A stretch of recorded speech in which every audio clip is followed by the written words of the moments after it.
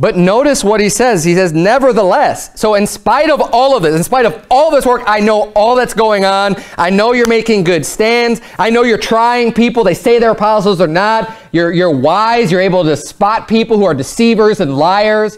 You know, you're on your game in that regard. You're doing a lot of work.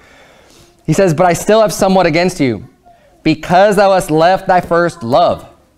Remember, therefore, from whence thou art fallen, and repent, and do the first works, or else I will come unto thee quickly, and will remove thy candlestick out of his place, except thou repent. So the warning is, if you don't go back to the first love, if you don't go back to the first works, I'm going to remove your candlestick. In spite of all of this other work that you're doing. Now, how many times he mentioned labor, working, like three or four times in those two verses? But what is his problem with? His problem is with the first works. So with all of this work that they're doing, they've left off the first work. They've left off the most important work that he's saying, if you're not doing this, I'm going to remove your candlestick. Let that sink in with how busy you may feel and all the things you may be laboring with and say, look, I'm not a lazy person. Good, amen. Because you ought not to be slothful. You ought not to be lazy. The Bible, you know, is very clear about that, not to be a sluggard.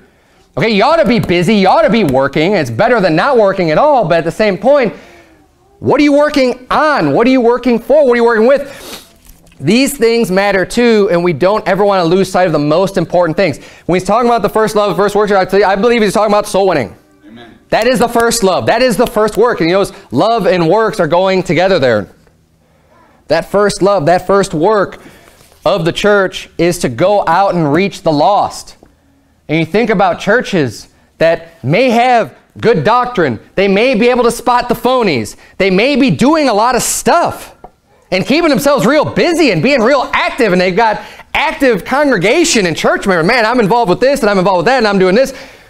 But they're not doing any evangelism, any soul winning. And it's like, hey, look, it's great that you've got these programs and you're doing things and people are keeping real busy and you're not doing wicked things and you're not doing sinful things and you're laboring and God can see all that labor that you're doing, but he's saying, you've gotten so caught up in everything else, you forgot about the most important thing.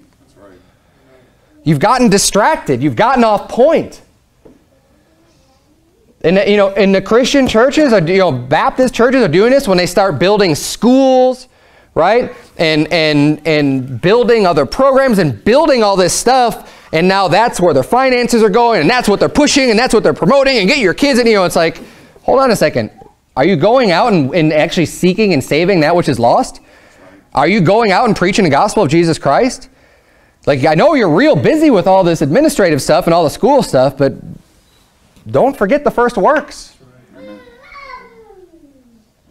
Because if you do, God's saying, I'm going to remove your candlestick out of his place. I'm not I'm no longer going to even regard you as being a church that I'm going to try to work with and try to help and try to try to be, you know, be with you to do good. He's saying, I'm just going to move on.